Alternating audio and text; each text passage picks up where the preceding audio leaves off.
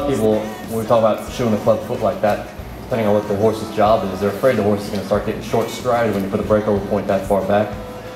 And I think they're going to get you know, real short and choppy. I mean, they're already kind of short and choppy on the club foot. But I find when you on the club foot, when you when you put the breakover point further back and let them roll, I, think their stride lengthens.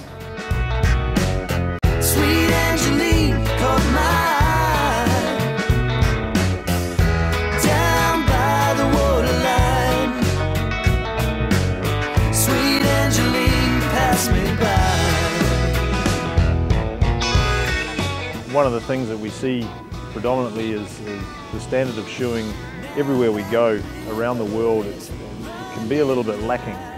And for myself especially, I've had a lot of guys back home who put a lot of time and effort into teaching me how to shoe and trying to raise my standards up and uh, give me some more education.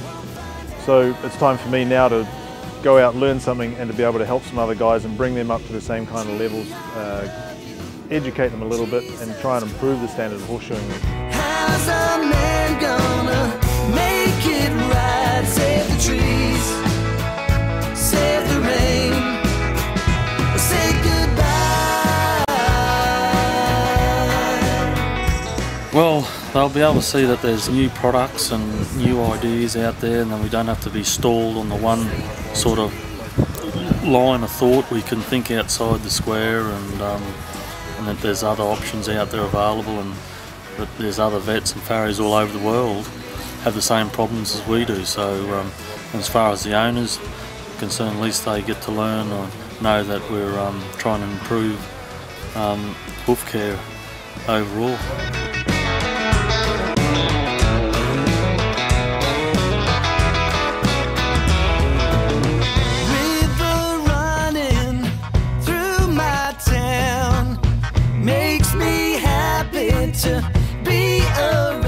Probably some owners are just happy just to go along. I'm never happy. I've always got a hundred questions. I drive people crazy.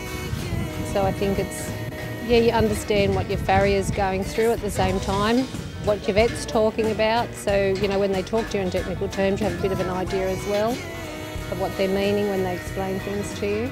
a fair range of different types of horses and they've, they've brought a fair few different techniques from all sort of breeds and, and um, different types of horses that they do.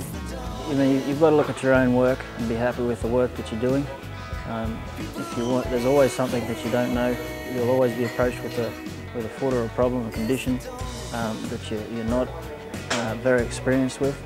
Um, there's a lot of range of problems out there that, that cause harm to horses. So as a farrier, you're asked to help those those conditions, and, and to be able to do that, you have to associate yourself with these sorts of people. So you know, if you, if you don't get out and, and, and open yourself to these these type of situations in a, in a clinic and hands-on thing, you, you know, you're really not doing yourself or your business any, any justice, or the horse you're working on in that case.